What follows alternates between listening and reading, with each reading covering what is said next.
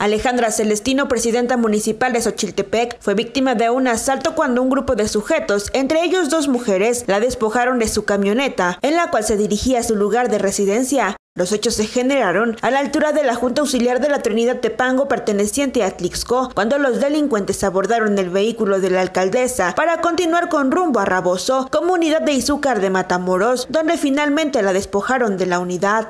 Tuvimos conocimiento que desde la Trinidad de Pango habían asaltado tres personas, cuatro personas, dos femeninas, dos masculinas con arma de fuego. A la presidenta de Xochitepec solicitó el auxilio de 911, a nosotros aquí mismo a la comisaría, comenzó a realizar algunos algunas llamadas de apoyo. Eh, te comentaba que en la Trinidad de Pango la, la abordaron eh, dos femeninos, dos masculinos, y se trasladaron a, finalmente aquí en Suchiapa, entre Suchiapa y Raboso hay unas brechas, las bajaron y les dijeron que se fueran hacia el cerro. Entonces, de manera inmediata, en cuanto ella tuvo, pudo tener eh, comunicación con las áreas, pues aplicamos todos los protocolos de búsqueda de localización de la camioneta. Ellos se encuentran bien, ellos se encuentran muy bien, en perfecto estado de salud, eh, sin embargo, pues bueno, estamos nosotros tratando de ubicar la, la unidad. Eh, ya menciona que con rumbo desconocido hacia hacia Chautla, en fin, pues ahí, ahí hay un, un tema un poco complicado, ¿no? Porque pues lamentablemente después de un rato hizo la llamada.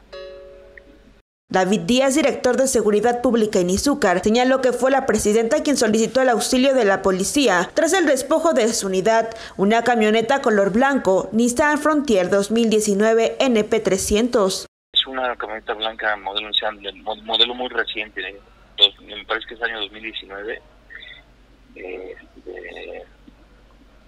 una NP300, una Frontier blanca NP300.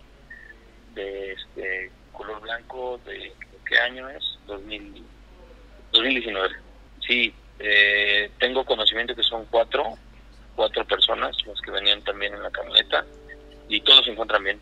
Todos ya, ya fueron atendidos por la unidad de emergencias de aquí de Ciudad Matamoros.